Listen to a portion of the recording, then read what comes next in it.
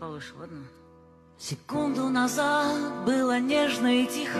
Летали, шептали, любили, затихли. И так без конца.